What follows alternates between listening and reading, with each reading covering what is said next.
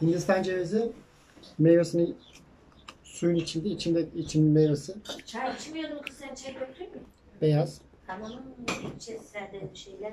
Kabuğu olmadığı halde bu şekilde. içelim. Ayran falan var. Eğer dış kabuğunu saksı olarak kullanacaksan parçalamadan dilim dilim yaparak çıkartılabiliyor. Bu şekilde.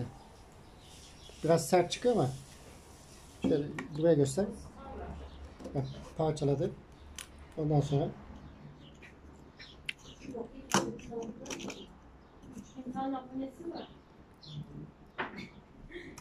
benim kocam.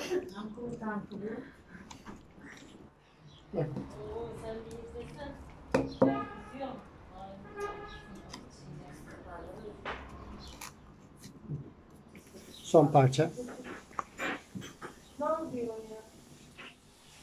Hindistan cevizinin nasıl parçalandığını anlatıyoruz. Ha, bilmeyenler var.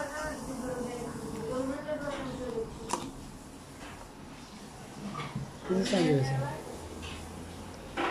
Bak kabuğu da seramik gibi. içine saksı olarak kullanacağız.